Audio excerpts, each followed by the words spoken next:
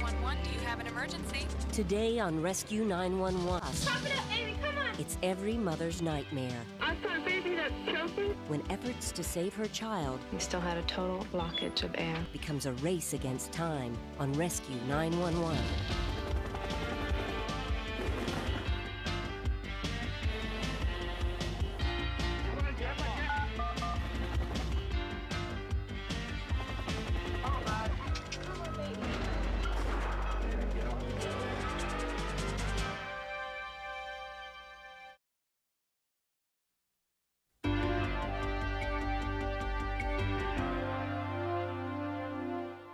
Twenty-eight-year-old Donna Boschel was well trained in life-saving techniques, and twice before she had used those skills to save the lives of two local children.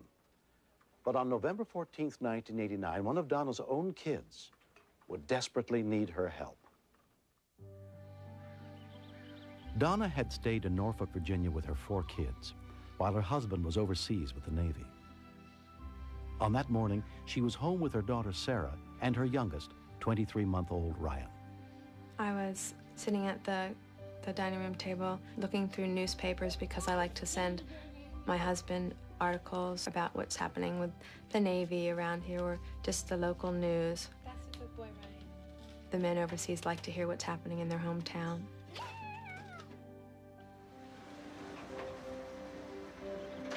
Around 9 a.m., Robert Gower and Donald Coleman arrived to finish installing an air conditioning unit in back of Donna's house. This was our last day on the job, and uh, we'd only had about a half a day's left of work to do.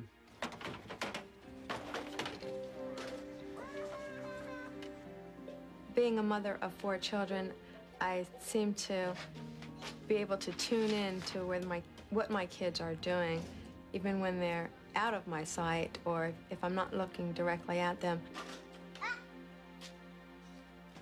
The first thing I noticed was the baby reach up on top of the TV. And I thought he was just reaching up to pick up a magazine.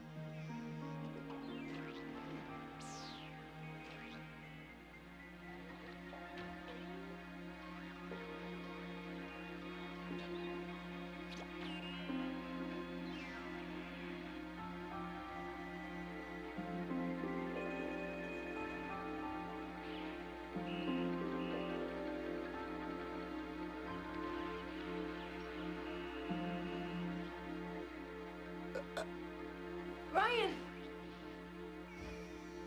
Come on, baby. Come on, baby. I knew right away that he was choking on something, but I had no idea what. Mommy! Ryan, cough it up. Come on, Ryan. Cough it up, baby. Come on. Ryan. Ryan. Come on, Ryan. Ryan. Then there was no change at all. Oh, he still had a total blockage of air. I didn't see anybody, but I did see the contractor's truck. And then I thought the Heimlich maneuver. Ryan! Come on, Ryan. Come on, baby. Cough it up, baby. Come on. Come on, Ryan. Ryan, Ryan. I was losing the battle against time. Come on, Ryan. Come on, sweetheart. Come on, baby. My baby is slipping away. Cough it up. Come on, Ryan. I definitely needed help. It had been two minutes since Ryan stopped breathing. Help. Help me, my baby's choking. I really didn't know what we could do. Thought to myself, just go up there and try to do something. Neither of the men had training in first aid. Go down now on one. Okay. Delta Police, Paramedics Arrington. I, I've got a baby that's choking. Come on, boy. See if you feel something in his throat. I don't see or feel anything. Watch out. Is he not breathing at all? He's breathing a little bit. Then he's going to be okay. Just calm down, ma'am. As long as he's breathing, he'll be okay. Just stay on the line with me for just a second. You know. I absolutely, I just couldn't look. I don't think I wanted to know if the baby had passed out yet. I just couldn't handle it at that moment. Come on, son. He was struggling for air. I mean, I could tell he wasn't breathing. He was just like gasping, and uh, I said, you know, I thought to myself, man, we, we got problems here, you know. I don't know if it's gonna work, dog. Come on. Uh, then I thought we let's try this Heimlich maneuver. Um, Let me try this. I didn't know how to do it, but I just I've seen pictures of it done and heard people talk about how it's done, so I just tried that. Come on. Come on, boy. Spit it up. Come on, son. That's not as bad. Wait a minute.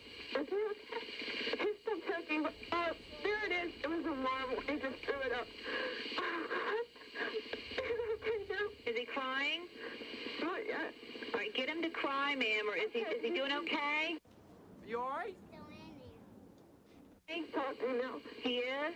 You don't need a rescue unit? No. Okay, we'll go ahead and cancel it. Thank you. Uh-huh. It was like total relief. Ryan, Ryan. Oh, baby. I just picked him up and just wanted to hold him really tight and was so thankful that he was okay. Lucky. He's all right now, isn't he? Yeah, he's okay. Ready? Ready? Ryan has suffered no ill effects from the incident. Three months later, he seems to have forgotten all about it. The whole event was extremely terrifying. You feel this overwhelming responsibility to this child who is looking to you to make it all better. And here comes a situation where you can't make it all better. It was very overwhelming. Sarah and Ryan are, are very close, so she's always looking out for him. Glad Ryan the cake because I love him. I mean, it never crossed my mind not to help. I mean, how can somebody ask you to help her in a situation like that? How can you, you know, you can't say no.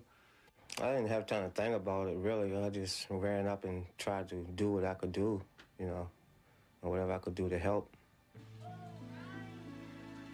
I thought it was very ironic that they have no training, and I've been trained for 10 years. They didn't think twice about being getting involved. They are very special men. They saved his life. If you are interested in learning life-saving techniques, contact the American Heart Association or the American Red Cross.